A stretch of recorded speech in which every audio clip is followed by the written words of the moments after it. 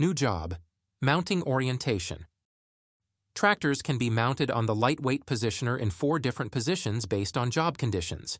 Click on the Tractor button to cycle between the four positions normal, rotated, inverted, and inverted rotated.